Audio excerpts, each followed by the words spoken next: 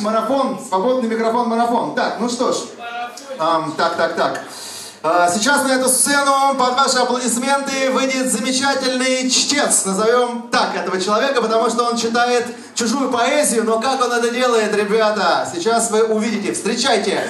Константин Смятских под ваши аплодисменты появляется здесь. Всем добрый вечер. Я действительно читаю только чужие стихи. Как только начну писать свои, может быть, их тоже буду читать.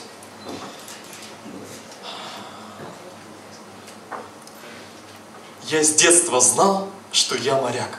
Мне снились мачты и маяк, а родня решила, он маньяк. Но время был его остудит. Мне дед сказал, да будет так. А я ответил, так не будет.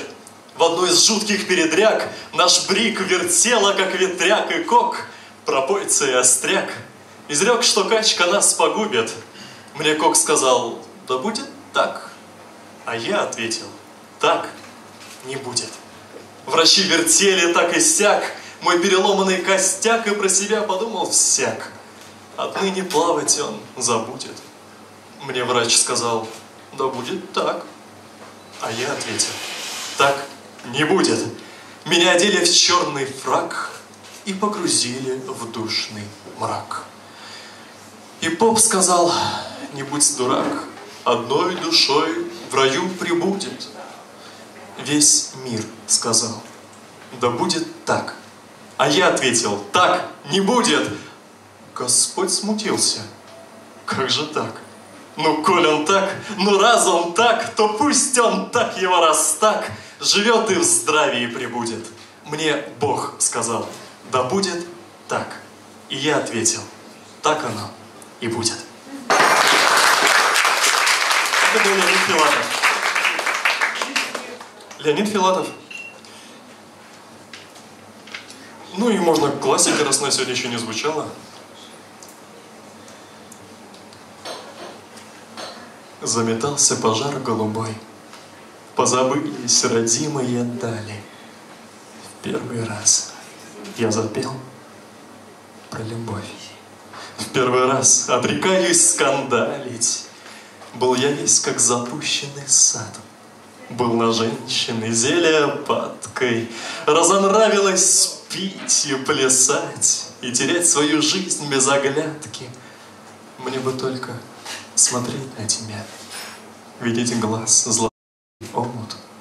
И чтоб прошлого не любя, ты уйти не могла к другому. Поступ нежная, тонкий стан.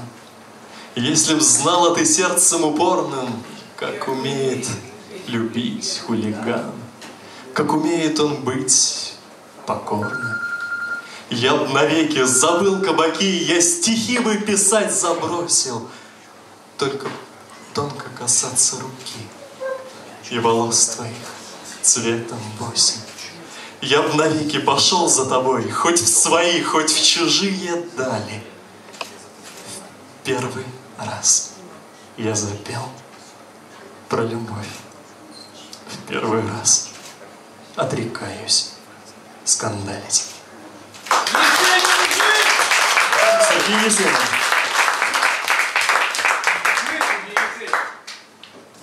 Стихотворение, которое я уже читал на этой неделе у Гриши, но прочитаю еще раз, потому что оно мне нравится. Стихотворение. Гришу я бы не стал называть «оно».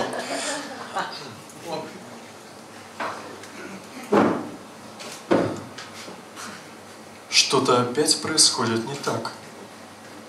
И что-то опять не то. Человек, вошедший в вагон метро, почему-то в моем пальто.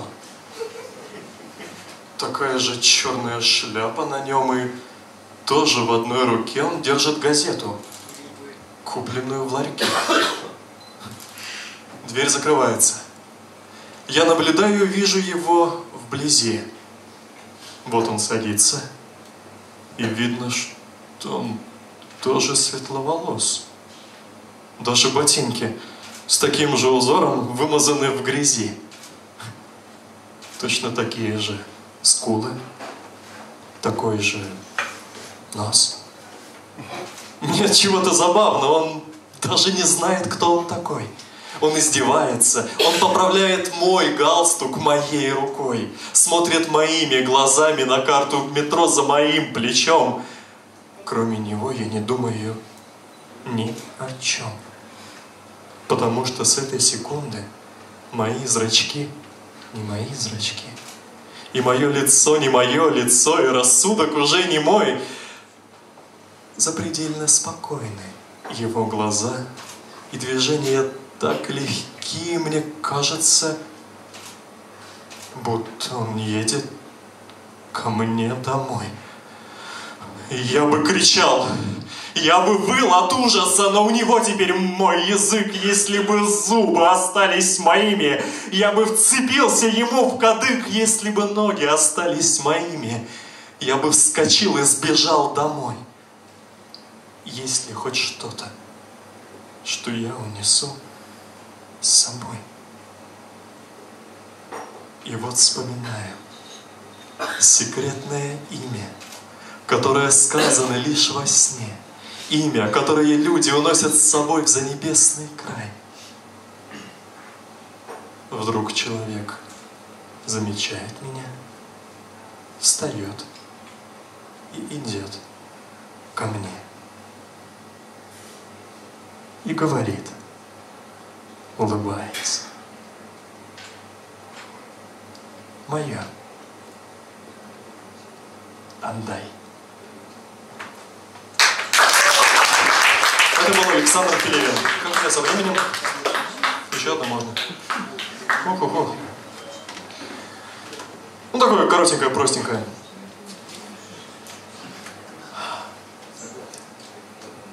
Девочка сидит у окошка. За окошком едет рыцарь на кошке. Или, может быть, на медведе.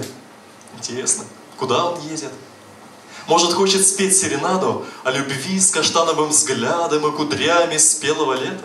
рыцари, такие поэты. Даже если идут на дракона, говорят с ним о красе небосклона, и загадывают гаду загадки, и играют простодушные в прятки, а потом они дерутся. Недолго. У драконов велико чувство долга. И кончается бой отпиранием душ, и дружбой, и взаимным братанием. Девочка сидит на балконе, едет рыцарь на крылатом драконе тихо плачет позабытая кошка. Все красиво, только грустно. Немножко. Был Андрей Белянин. Всем большое спасибо за внимание. А это был Константин Смецких. Спасибо, Костя, что ты приходишь на наше мероприятие. А, очень рад тебя здесь видеть. Ну что ж,